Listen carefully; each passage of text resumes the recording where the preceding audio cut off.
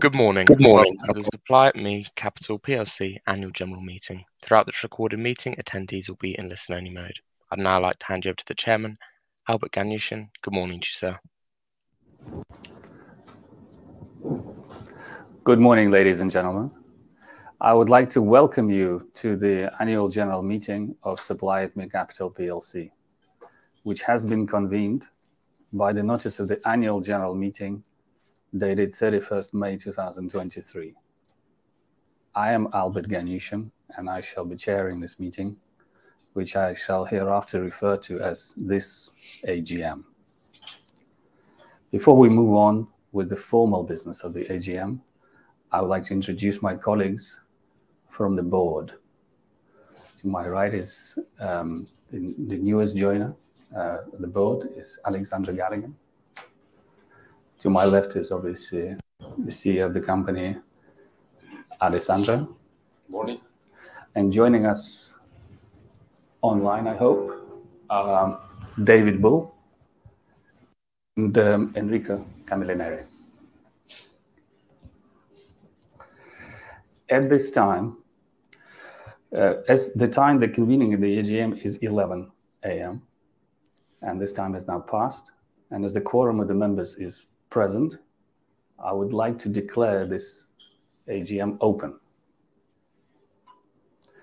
The business of this AGM is set out in the notice of the AGM, which, with your agreement, I propose to take as read. If anyone wishes to object, please raise your hand now.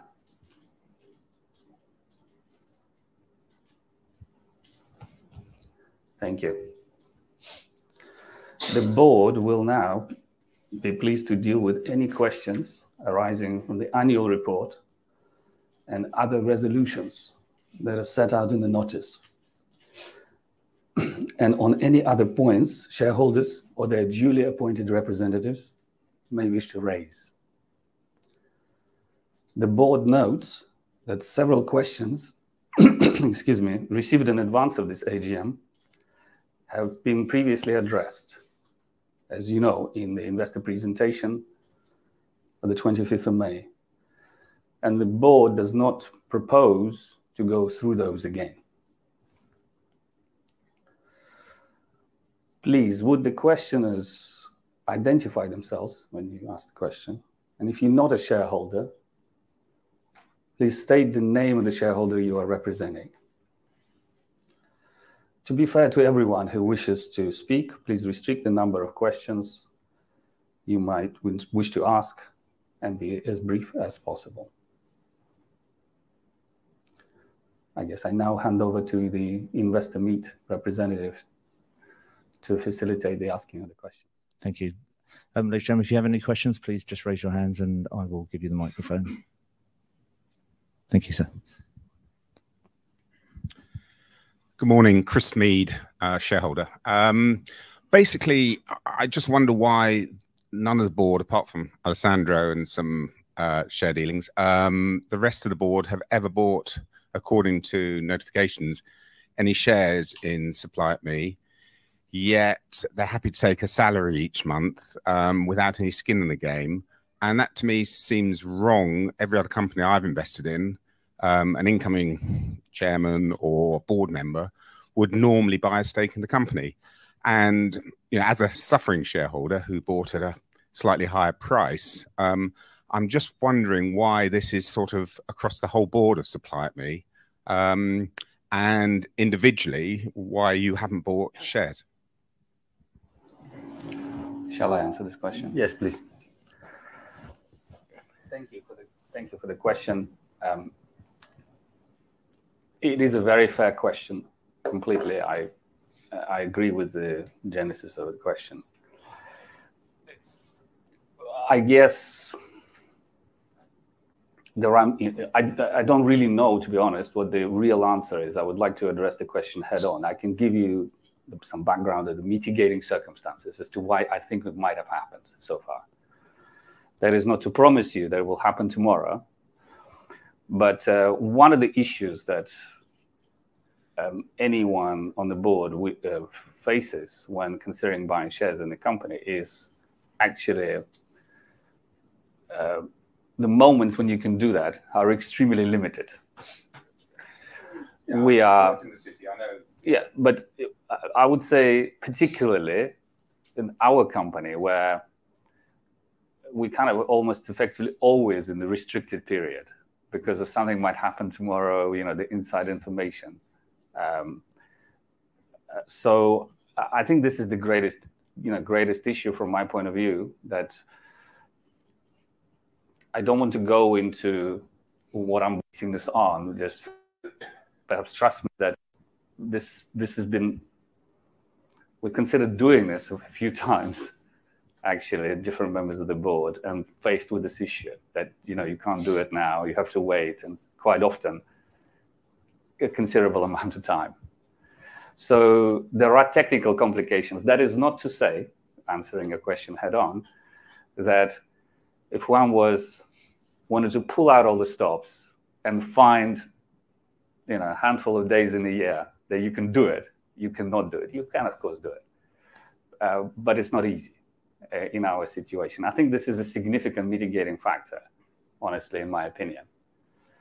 Um, but that said, um, I would like to obviously see uh, the board, you know, make an investment in the company um, because the signaling um, around that is very important. So I think we understand that, would like to address it, and hope we'll be at some point in the future in the position to address it, recognizing that we have not yet done it. I mean, I appreciate the honest answer, um, although uh, looking looking at other companies, uh, it's um, not the case, and and they have RNSs possibly more regularly than we do. And and I do understand there's things happening, but there's things happening in every company, signing contracts, new contracts happening, discussions ongoing. Yet directors in those companies are allowed to, but the Supply at Me one seems to be the only one where you, we've hidden behind this now for two and a half years.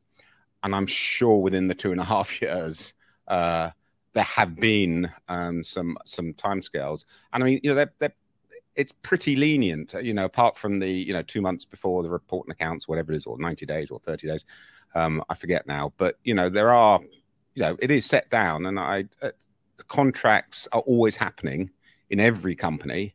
Glaxo would be selling and buying contracts, but the directors still buy and sell shares. They don't wait for the next contract, the contract after that, and the contract after that, and the contract after that. So I, I thank you for your honest answer, but I'm not sure it's totally true that it's such a small window and every time you try and do it the window's closed or or whatever um, because you know i have worked in the city and I, I know it is not that difficult to find those periods. And and the contract thing is is a little bit of a smokescreen because every other company has ongoing discussions with suppliers funders or whatever else we're discussing with. But yeah yeah I, I, I, don't propose to get into a lengthy exchange on this but you know you know you would recognize as a shareholder that the amount of news material contracts that we have done is not that huge. And so it's not a glaxo situation where thousands of contracts are coming through. If that was the case in our position, I would agree with you entirely. But I just make a point we are, you know, we continue to be a company at an inflection point where a, a lot of the information that we have access to is genuinely insider information, in my opinion. Okay. As a shareholder, I'd just like Point is noted, understood, and acknowledged. Questions from the room? Um, Matthew Martin, shareholder. I guess um, what I'm struggling with at the minute is to actually put a valuation on the company. And I know that's standard for this type of company in this industry. However, when I invested best part of half a million two years ago, um, I had captive bank, I had RNSs with quantums of potential IMs.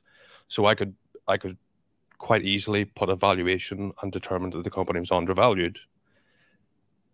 Since the last revenue guidance, we've got nothing. We've got two one million IMs. I would say almost radio silence. Uh, this kind of you know silver bullet of white label, but I don't even know if it's two million, two hundred million. So, I, so I'm kind of locked in with a significant loss, and I have no idea if the company is even worth the shares, the share price today, because the level of information that you guys give me and everyone is pitiful. Maybe I answer the. Okay. Thank you. Thank you, Matt. Uh, I think that uh, we start this year with uh, the business update that maybe was Uh, waited from the investors, and we tried to map our agenda. As you know, I try also to explain to the shareholders, you know, uh, in these months. So actually, in a perspective of the investors and shareholders, I think that the agenda is clear, is in the January business update. And what we are doing now, maybe with the expectation of time that is uh, always not always in our control, is to deliver this agenda. And I think, uh, Matthew, that uh, respect to two years ago, one years ago, the situation in terms also of uh, projections of what the company, the group can do is totally different. So so technically, we made the first IM in Italy with the traditional funding. We announced the U.K. funding. We are in line with the U.K. execution as the market knows. In the business update, uh, we said that it's 10 million, the first uh, agreement uh, or first potential transaction with the Tier 1 bank, as we said in the presentation of 25 May. Unfortunately, the technology device, the hardware didn't work, and so we are not able to pass transfer the enthusiasm and the, you know, the direction that we are following. And and I think that as we are doing also in the seat in the company with the partners, is to try to to explain that uh, really delivering something the company can scale, you know, because uh, uh, we prove U.K., we prove Italy, we prove or we will prove the white label, also the, the opportunity to work with a Tier 1 bank. And as you know, if you, as investor, you try to project something, say, "Okay, the financial service is a market of followers, so if we announce a good alliance with a bank, for sure, other banks will uh, knock the door saying, I want to do the same.'" Maybe as we're saying these days, uh, from the commercial banks, maybe also investment banks can uh, start to work together because they see a model that actually is working. And so technically, we hope that we'll be in position this year also to maybe put some numbers and uh, help also, obviously, the market participants, the shareholders, uh, all our partners, to see our trajectory um, and continue to support the company. Because we are in a crucial moment, guys, and we need to be supported because the company now is delivering, and we need we need really now support of all shareholders, partners, to go in the direction that we are working. We will be working three years, basically, now. So this is my view, Matthew. Thanks, Alessandro. Um, I guess, given cash position, um, my concern is by having no revenue guidance imminently, we are staring right down the barrel of another uh, raise, and historically, the raises have been at a disgracefully low price relative to what I paid. So I just need some kind of confidence soon from the company that we're not gonna run out of money and need another fundraise. I'm fully confident in the company. I've got total... Uh, I I, get where it's going, and I get that things take time with banks, but I need mm. something, and we need something as shareholders that makes us realize, okay, this is taking time, but we're not about to just go go to the markets or, I want to say, the market Venus, uh, to get additional funds because we're not gonna be able to pay everyone's salaries. That's my last point. Uh, I think that uh, basically we are in June, and we recently approved the annual report, you know, with the facilities that the funding facilities that we announced, right? So in this moment, and you know that the company has the obligation, you know, to disclose something if something that we approved uh, uh, in the past changed, right? So actually, now the company is in the same position of the what we announced in the annual report, and we we don't see any, you know, we don't see what you are, you know, now thinking that uh, will will happen. Also, Additionally, as you appreciated, like happened last year, starting to work with banks opened the doors also to commercial loans. That actually is something that Banco BPM last year provided us. Eh, the market is seeing what we are doing, eh, and there are a lot of opportunities to work also in a normal manner, ordinary, you know, course of business with the normal loans. And eh, so I think that this is the direction that we approved also in the last annual report. Eh, and we are now, eh, eh, we do we do not we do need to, you know, target our, you know, goals, business goals that when the board approved the annual report, as you know, there is a working capital assessment, going concern analysis. And our focus really is now on revenue. It's not to see how we can raise capital. I find another providers Is we need revenue, and we need to generate cash from revenue, not from other type of facility. This is a key message uh, that is important uh, that you can uh, appreciate today, right?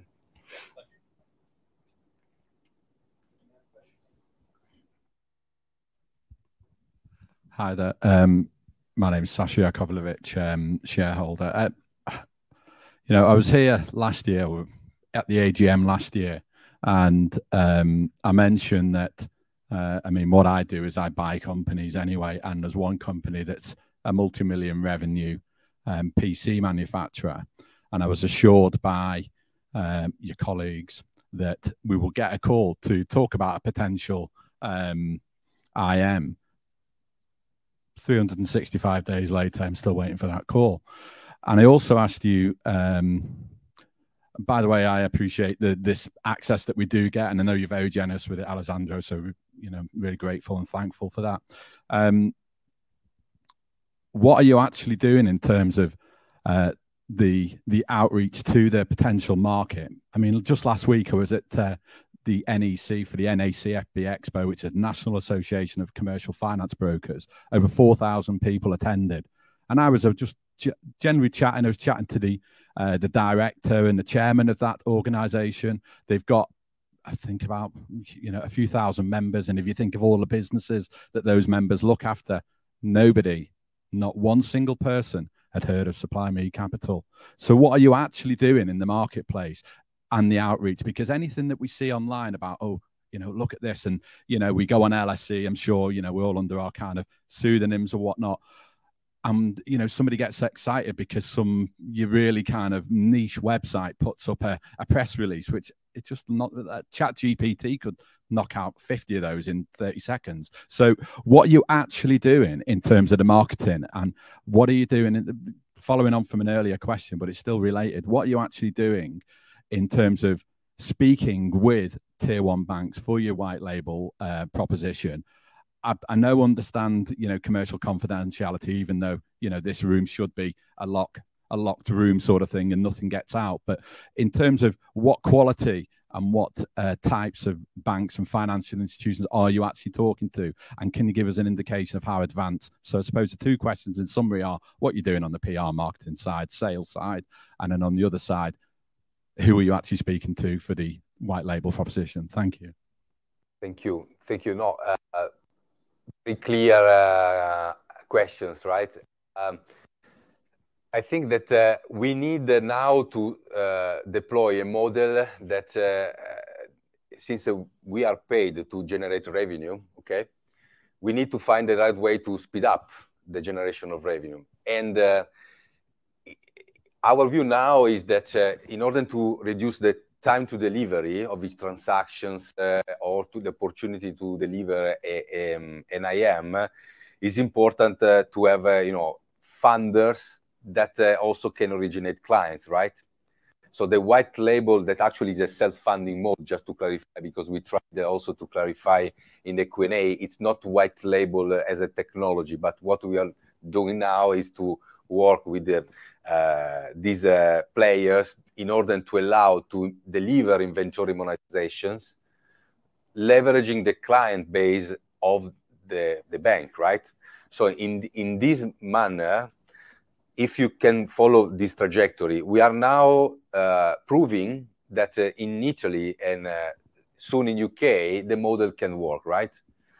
Then uh, with do these two technically tools, uh, we can, and we are doing, uh, uh, you know, since uh, one year actually, the activities in Italy with the local banks that are tier one banks, so are one of the 100 systemic banks in, under the European Central Bank regulation, to, give you an idea of type of a balance sheet that can banks, these banks can can have, right?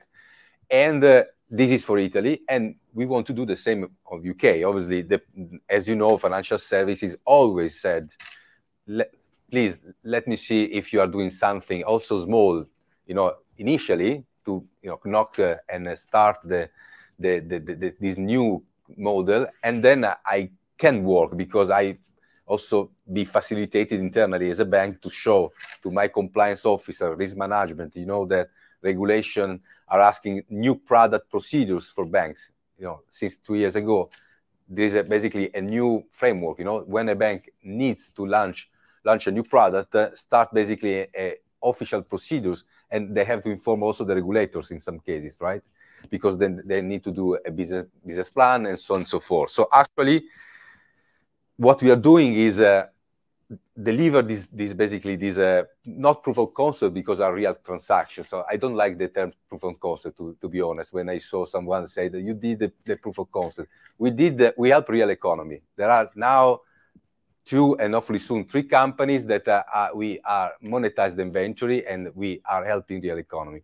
Proof of concept is something more, you know, in my opinion, more that from garage of Steve Jobs. This is something that we are delivering, right? And so this is the first one. Then after this, uh, with the banks, uh, I can confirm with these banks, it's totally different now discussing because the question is, uh, can I see the term sheet of the note that you issued? Can I see the, how are the condition, how works the model? And the, the time to reply to these banks now is totally different because last year we try to say, yes, uh, we are trying, maybe if you simulate, if you do this forecast. Now we have live transactions and we say, okay, this is the what we are doing. And you will see the speed of delivery, in my opinion, in the in the next months, how we can speed up the alliances with banks, in my opinion. Regarding the marketing, is a, one of the topic in the table of the board of directors. I can see, I can say, you know, because uh, uh, I think that uh, uh is important, regardless the opportunity to work with um, banks uh, or to do transaction to be, you know, uh, our presence needs to be, you know, in a, every table or, you know, online physically. Obviously, there is a Amy in the in the room. Uh, it's important to have you have a budget. Uh, we need to, to you know invest the money, uh, use the money in when there is a, a, return of investment very high in this moment, and so we prefer to invest uh, the the money in order to speed up maybe an alliance with a funder and then invest the money in the future also for maybe more wider marketing or PR, because now we need uh, really to uh, manage our pipeline, right? The problem uh, or the opportunity now is not to find new clients, is to have fuel to deliver the pipeline, right? And so this is uh, our priority now. Uh, and uh, indirectly with the revenue, with what we'll do will have maybe a budget to, to improve also the more general marketing approach. But uh, in these days, the, the board is discussing uh, to improve as usual the, the marketing activities in general uh, using our existing budget. Um, you're not actually doing any active marketing right now. Actually, uh, to be very uh, honest, uh, I think that uh, we are lucky because uh, we continue to, to get requests of inventory monetization from corporates eh, naturally from the, our network of originators. recently, a Big Four wrote me last week, another Big Four wrote me to introduce new clients to us, UK clients. So actually, it's not a big deal for us now fund uh, fund every week, uh, every month, uh, new clients. So maybe it's not a perception of the shareholders, but in reality, the number the number of originators that we have in Italy and also in UK, the ecosystem that we have now is continuing to generate opportunity. Differently, if you are saying it's important to have a market positioning, regardless the fact that to have a, to onboard a new client or a new prospect to have a, a market positioning in in these events that you are saying. And uh, this is a more a brand uh, market positioning that uh, I do agree that maybe regardless the fact to, to have another client, is important to see the SupplyMe in these events, in these tables. And we'll do, we'll do for sure something in the future using our budget of marketing. Any other questions in the room?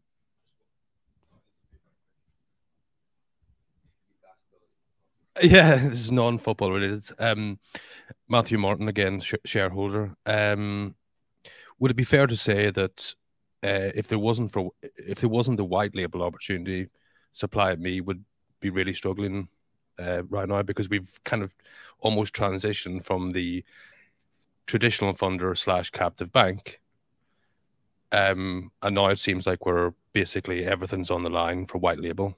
So no white label equals SupplyAtMe would be in a bad place right now. Would that be fair? no no iphone and apple will uh, maybe default right and no basically the point uh, is not is not a, a random situation uh, is a strategy of the company to study the market understanding the time to to deliver of each funding routes we know last year that to speed up the first uh, im we leverage the crypto market basically because uh, we had the opportunity not to raise funds through tokens but to have the opportunity to help uh, the first company with uh, our original model, uh, regardless to use an NFT or some other, you know, as a funding route. So is a, I think that was a clever strategy of the board to say, firstly, last year, find the more, the faster route to do the first IM. Secondly, now find the faster route to scale. Third, find a faster route to scale horizontally, maybe with uh, multi-jurisdictions, because uh, in a 25 uh, May disaster of presentation that we made, let me do, I'm joking a bit, but actually uh, the, the, the, the, was, was a, mis, a great misunderstanding, you know, the white label uh, up and running multiple regions 24, you remember, because uh, I received thousands of messages in 10 minutes, the worldwide record of messages. Okay, so actually, but this is the point. The, the board of directors are setting strategy long term and short term because the focus are revenue, cash position, and obviously the improvement of our unique product, right, as a platform. Yeah, I can uh, maybe add just a little bit of this. I don't think it's right what you know the, the hypothesis you put forward, but we certainly, you know, within the board and the strategy meetings that we've had, obviously since certainly since the year I joined, you know, I've been here, and Alessandro was was talking about that. I think the focus has been because we understand that the, the company has significant promise. It has a unique product but it has to work and has to be brought to market. Now, we thought about what are the drivers behind effectively the delays in the adoption of the company's product. And one of those drivers is if in the captive model, we basically need to build a financial services brand, financing brand. Yeah, let's be honest about this. It's not corporate customers as you know hoovering them up you know we have plenty of corporate customers. It's the financing financial services brand. And for those of you who you know have the city experience they understand this actually is you know this does take time because it's a function of track record uh, trust and perception. And that is something that could happen quickly but it could also take time because this is a little bit how you know out, a lot of factors outside of our control forgive me. Um, so with this in mind the white label approach um, seems to bring us to the adoption of the product much quicker and probably help both on either side. You must understand because if the approach with the white label well we the platform. And other people have both the customer and the money. Why would they not use our platform if it's so good after all?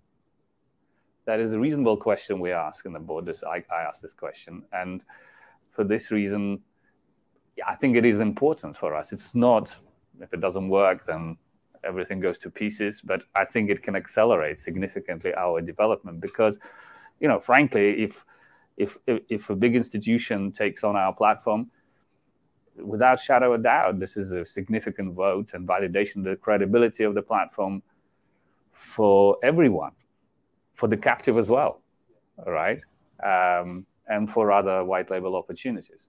So it is important strategically, no question about it, uh, in, in validating our product, in, in speeding up the adoption of the product. But if it doesn't happen, it doesn't kill the concept. It doesn't, you know, destroy the journey that we're on. But I think it is important catalyst for our development. Hope this is clear. Thank you. So, last question, but I'll probably put three in. So, uh, firstly, um, you, you, funding that's always been my big issue, and why uh, I invested because of the captive bank four billion opportunity of funding in 2020. Um, still waiting on that one. Um, so, and and also, I don't think as a shareholder, I've been really updated on progress of the captive bank. The, the just the odd snippet in the odd half yearly or annual report saying it's still bubbling. Um, but it seems to have bubbled for an awful long time, and I wonder if it's evaporated. In which case, we need to be be told it has, you know, not happening, or or some more solid updates on it. Because at the end of the day, you, you Supply Me talks about updating the market. Actually, we're the shareholders and we're the owners of the company, and it, you should be updating us rather than the market because you know I know the two things are are similar, but we do own the company and we do have you know uh, a right to understand what's going on. I know some of it has to be kept secret, of course it does, but other bits like the captive bank, you know, I mean that has just been going on and on and on. And the fintech banks sort of came and went, and and uh, one or two other bits and pieces. Um, so I, I, suppose that's my first plea that you actually keep us, the shareholders, a little bit more updated on what's happening. The second thing is the the pipeline, the 300 million. Um, these guys have got an awful lot of patience. You know, they've been 2020 to 2020, three and a half, and they're still sitting there in the pipeline. And we've done a whole, you know, one and a half, three, I think it's four and a half million um, compared to 300 million pipeline. Is that a real figure? Because I would be getting a little bit bored and questioning the whole opportunity thing by just sitting in a pipeline for three years waiting for my my uh, my stock to be done. And then the last one is trade flow. Um, when will we hear what is happening with trade flow? Uh, just a date, and then a simple question, which I'm sure you can't answer, but will it be cash flow positive, neutral, or negative to sign the trade flow split? Thank you Question you raised? okay. Four. So four, four, uh, four. The, the, four we can't reply. I just uh, anticipate. so no, uh, no, good questions, uh, Chris, as usual. Uh, the, the, captive bank, the fintech bank, uh, I can add also such if you want. so the, the insurance company, the, the agency in Italy. You, you, I think that the, the shareholder has to see this as a needs of of our business, as we were saying, to work closely with the bank, right? So I reply you with a, a question or you know a, say something regarding what will happen if one of the these banks where we are now working will ask us to work very close on exclusivity basis uh, for specific maybe supply chain, right? Actually, if this will happen, technically we are delivering the, the model of a captive bank you know working together with the bank that actually is a, our basically partner to deliver something in a specific sector. Because captive bank to be clear you remember was not that Supplemi were bought by a bank uh, or Supplemi bought a bank. Was uh, an agreement where an external funders bought a bank taught in a wholly or partially in order to allow Supplemi to have a captive funding available to deliver basically IMs to pipeline existing or to eligible clients, right? This is this was the strategy with Quadrivio, basically. But uh, the same framework, also because uh, you know, uh, I remember, you know, the, the, announcement was September after my birthday, uh, 21 of 2020, 21 of September and December 2020, when we named Quadrivio. These guys are all are in the market, right? Basically, are equity, private equity investors, and banks technically are. There are some banks also with private equity funds behind, right? So what we, I'm saying is that our strategy to work together with local banks is actually a way to deliver basically this framework, okay? And, and let's see what will happen if there are banks uh, that will, will want to work together with Supplyme more closely. On the other hand, as we said in, uh, I think in the last uh, Q&A or, or, or, in the past, uh, the Avantgarde Group and Quadrivio always are looking for opportunities to help uh, working with the banks that can uh, work closely with uh, Supplyme, right? But to find a, a bank uh, is not easy, you know, because uh, there are a lot of banks with NPL uh, NPL uh, portfolio to clean up. there are complex situations. The regulators is you know, is also asking more credit restrictions. So the, the environment obviously changed, but the need to work closely with the bank is basically the strategy that now we are delivering. Um, trade flow, this is the second, right? Trade flow, trade, trade flow. Uh, we announced the, you know, the what we are doing with trade flow and Tom and, and John, and uh, I think that the together we are working to find the right solution in order to, you know, again. Uh,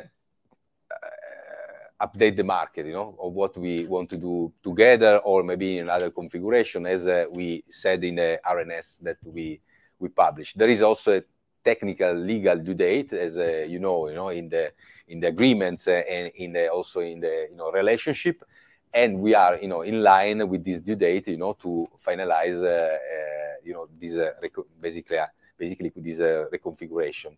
So we will inform the market and due course in line with this technical legal due date.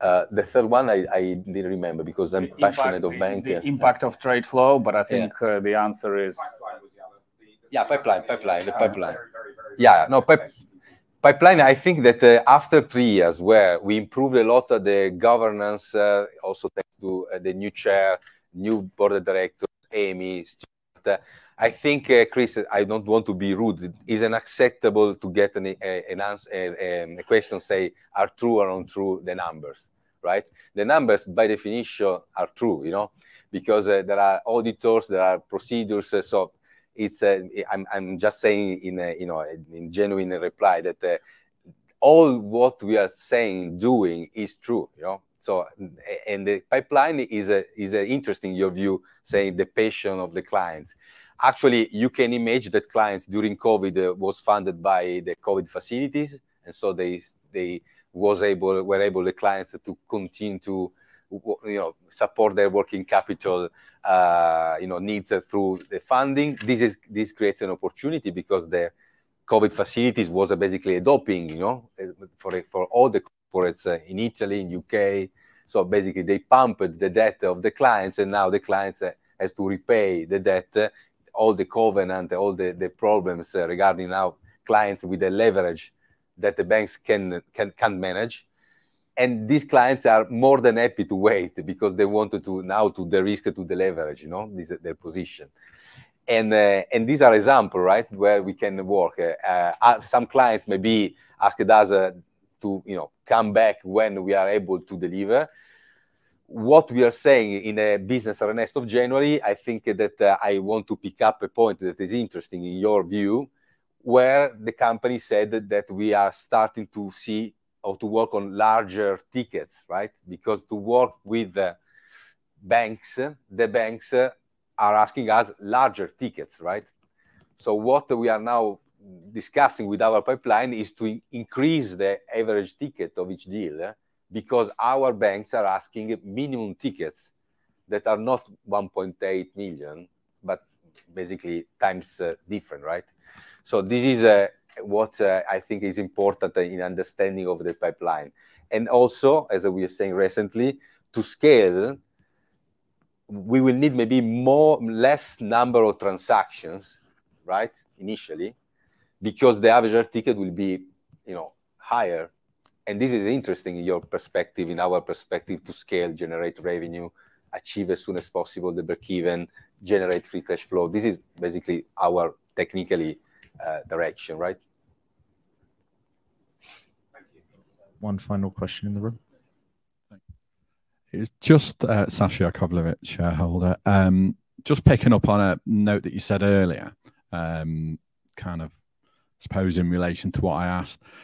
You what you're saying is you've. It's not a question of building up a client base of people who require funding. It's more the other side of the coin, the funders. So, with you know the, the, the way that the economy is and the high inflation etc what is the attraction what is the offering that you're you are giving potential funders to make them think you know what yeah we'll, we'll chuck you know 10 or 20 mil at that just to have a go at it to see how it pans out what what active conversations are you having with funders around that?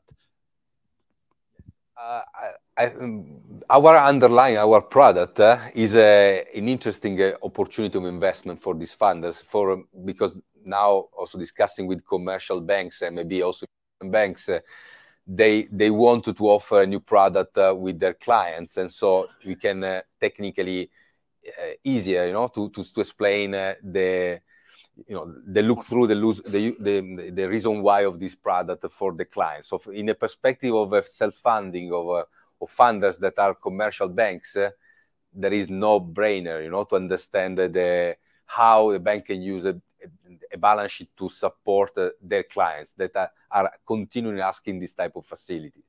If you are asking uh, other type of investors, like uh, the investors that invested in this note, uh, technically uh, the underlying of Supleme is interesting, the inventory monetization, because firstly is a tool to hedge the inflation, because uh, if the price will go up, technically our model is indexed you know, to this price because the rolling uh, activities buy and sell are aligned. And so we can ensure also an alignment of the interest rate uh, in our notes as it happened in our in these recent uh, you know transactions.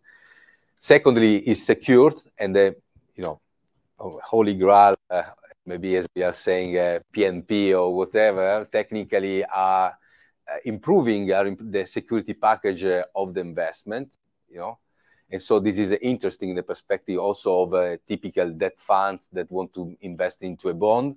The third one is the ES, ESG goal, because helping uh, supply chain, we are basically improving the operational resilience of the supply chain. That is one of the ESG goals under, you know, the framework of ESG assessment, right?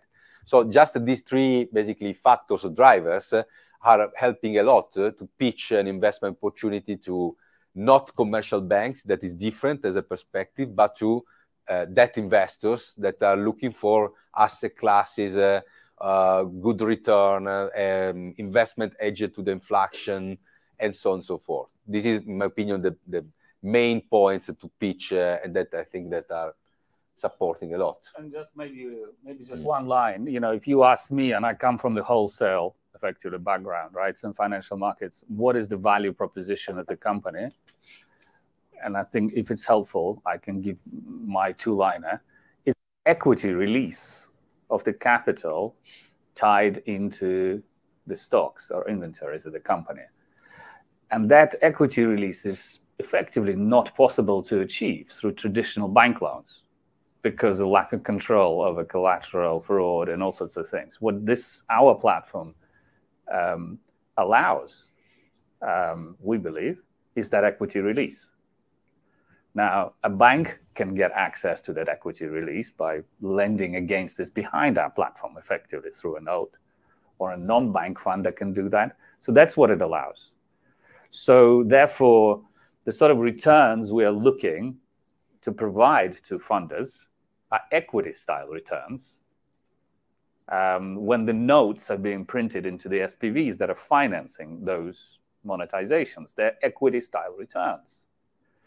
And that is attractive for sure. It's attractive to a bank, it's attractive to a non-bank um, financing institution. So it's an equity release. Yeah. The, the kind of, I suppose, the crux of the question is, are you in active conversations with, you know, investors and finance houses?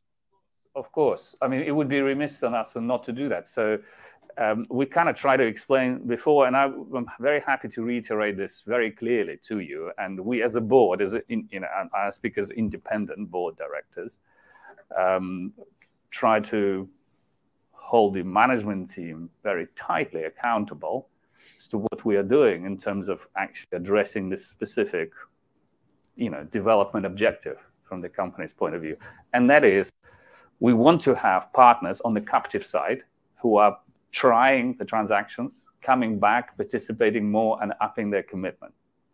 So we want to build a stable of people who will finance the transactions that we originate. That is what you see in the pipeline. That is our own originated transactions. But we also want people to come with their own transactions because there will be people who will second guess us and will say, well, have these guys have chosen all the companies that uh, nobody wants to finance? And what do they know? Supply me capital, you know, small little company. We are a big bank, X, Y, and Z, and we know what we want to do. We just can't do it because otherwise, you know, they have to have access to our platform and technology. In which case, I would say to Alessandro, I'm happy to put our hands up and say, well, come with your client and with your capital and, and do it because we can deliver it. Hope that makes sense. One more question, I think, from the room, sir. One last question. Yes. Hi, Paul Cook, shareholder. May I go? I did have a question, but I'd like to first go back to the trade flow capital situation. Uh, clearly, these things are never easy, either joining or leaving.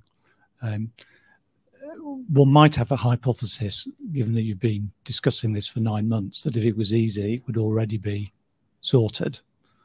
Um, and there is an end date. So, uh, which was alluded to in the answer to Chris. It's just how hard is that end date? And if we go past that end date, are we going to litigation? Um, Shall I answer that? Yeah, yeah, yeah, please. So, because I, I, I will take the answer because uh, give you the answer because Alessandro has obviously had a long-standing relationship with the guys, and I, I'm, I think I hope I can take a slightly more detached approach, which may be helpful for you. Uh, look, I, you know from the announcement, it's clear that we are trying to separate uh, for what we hope are strategic reasons, and we try to make it very clear. Um, we would like to separate, you know, via the friendly agreement and we believe uh, we will. This is what we will deliver as a board. Okay. Notwithstanding that, the other party has a, a, a right to separate from us. Actually, also on the terms to be agreed. But when somebody says, "I actually have a right to run away from you," it's you know slightly more. Uh, you know, it's a it's a separation with a, bit more tension as you would appreciate, than otherwise would have been.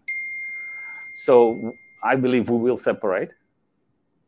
Um, as we said, we have to announce the terms and conditions, and you know, in due course, we'll do that. And we are working on still on option A, whereas option B also does exist. So it's going to be either option A or option B, but actually, in reality, it's going to have to be a separation either way. So it's kind of it's Im- almost immaterial, right? So in the round of things as to what, how this would happen. Is is the date a hard date or a soft date?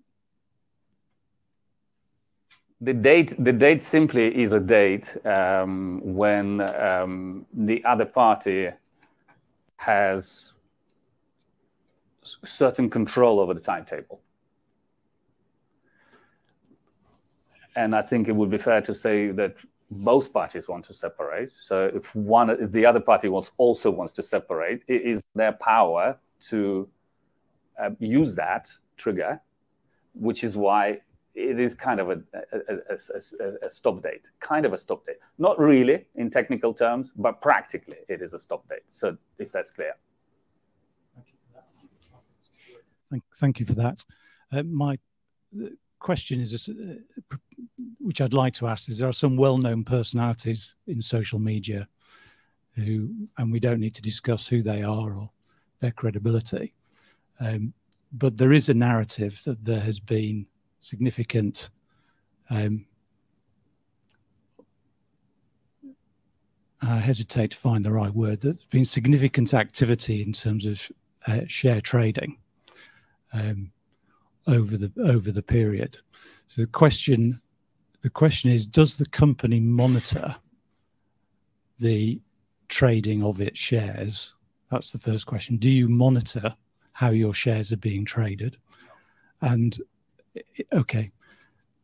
So the second question is, are you aware of any intriguing patterns that seem to repeat? But if you don't monitor it, the answer to the second question is no. Okay. Okay. So, so I will just, uh, I will try to give a quick answer. Look, we as a board, we're responsible for the company, the compliance, the, doing things correctly, disclosing everything correctly, delivering strong governance so you can trust us you can trust us and other people can trust us right? Yeah. so but the look the trading platform is responsible for trading. So this question should be addressed to lse i used to work with big stock exchanges. That is the question for lse so you as you know we moved from the quotation driven system which is based on market maker quotes to an electronic order book sets one of the reasons um, that I very much supported this move is this is an equalizer in some ways, right? So it's an electronic order book. Everyone has to put the orders through, and there's visibility on the order book, actually, if you wanted to see it. I'm not interested in it as a company, as Supply, Supply Me Capital. But if anyone is interested in it, they should be able to see the through the electronic order book. Do I believe it is helpful in a sense you know to to make some of this speculation go away you know probably. But if somebody wants to talk negatively about you without any substance then generating more substance does not necessarily make them go away. You know if you if you think it's black and it's white eh, but it is in fact white you will continue saying it's black no matter what i you know what evidence i produce. That makes sense. Okay. So thank you Um, I think now we'd just like to move on with, uh, with, the, the, with the AGM, if, if, um, if we may. So thank you. This, kind of concludes our live uh, Q&A session. So I now propose that we move to ordinary and special business that is set out in the notice of this AGM. And um, I want to put all the resolutions uh, uh, to be moved today to a vote by Paul. So I, I hereby officially demand all on behalf of myself as a, a, chair in accordance with the Article 61 of the company's Articles of Association. Votes cast for the purpose of a poll include votes cast by proxies. It is my intention as the holder of the number of proxies, in respect of which no direction had been given, to vote the shares represented by such proxies in favor of each of the resolutions. Votes by proxy, discretionary votes, and abstentions are shown on the screen behind me, hopefully, as uh, they are for all the resolutions. A poll has been validly demanded, and accordingly, I ask our representative from Neville Registrars, hello, um, to conduct the poll and act as scrutineers.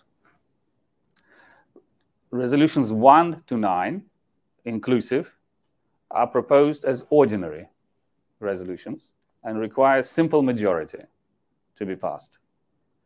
Resolutions 10 and 11 are proposed as special resolutions, which require to be passed by the majority of 75% to vote in favor of these resolutions.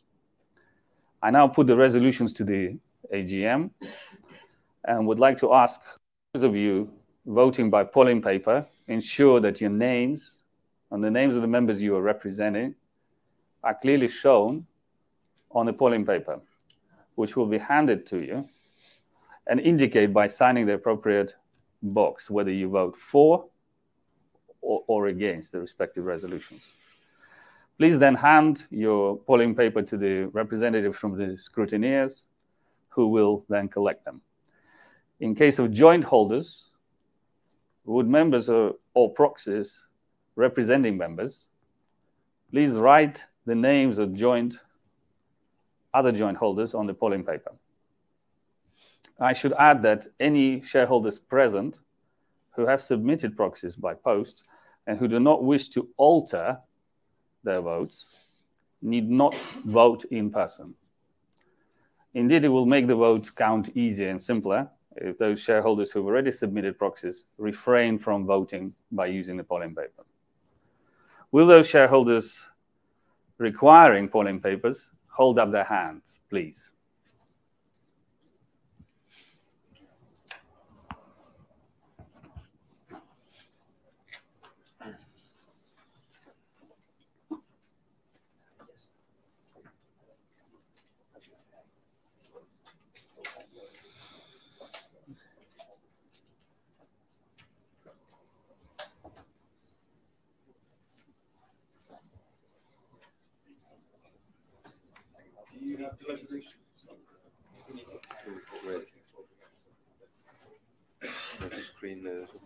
Do do we have resolutions on the screen?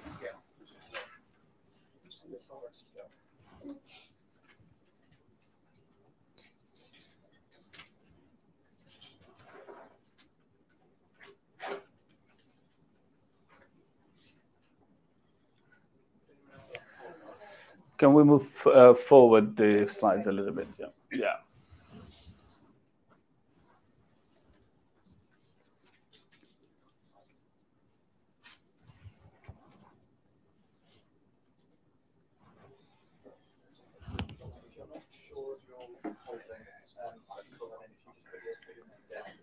if you hold across a number of different designations, you'll need an extra poll card.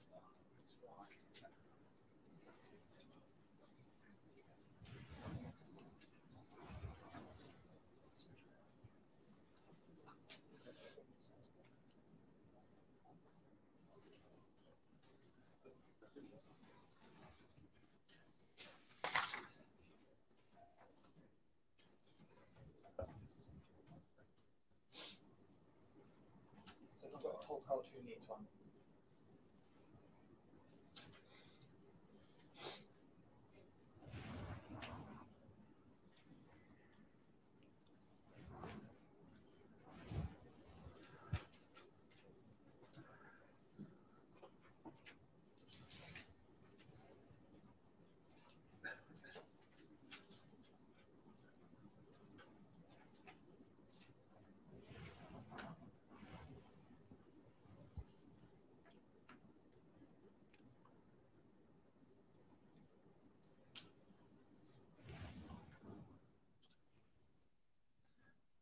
The resolutions are on the screen.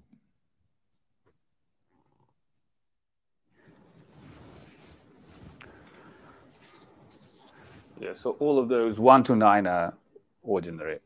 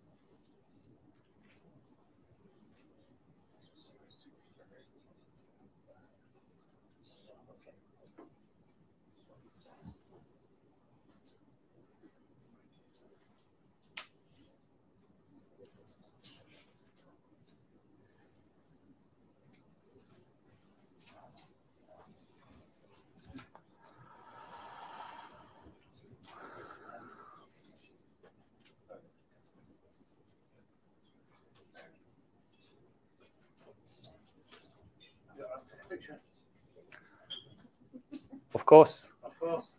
It's a matter of public record.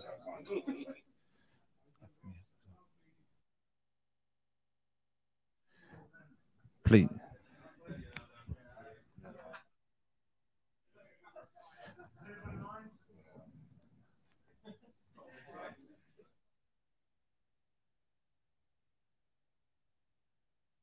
Please carry on. Please carry on, Mr. Chairman. Thank you. Has everyone else had it in there? Oh, thank you very much. Thank you, sir.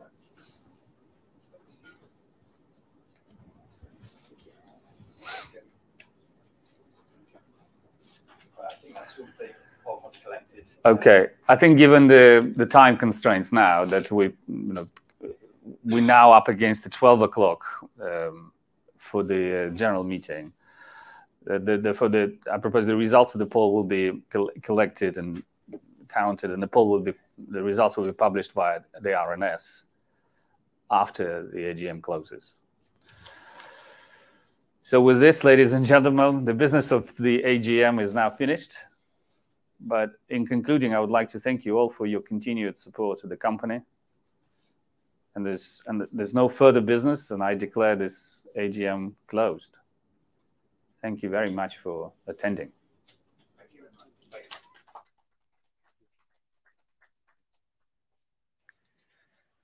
Thank you for updating attendees today. On behalf of the Board of Supply at Me Capital, we'd like to thank you for attending today's annual general meeting, and good afternoon to you all.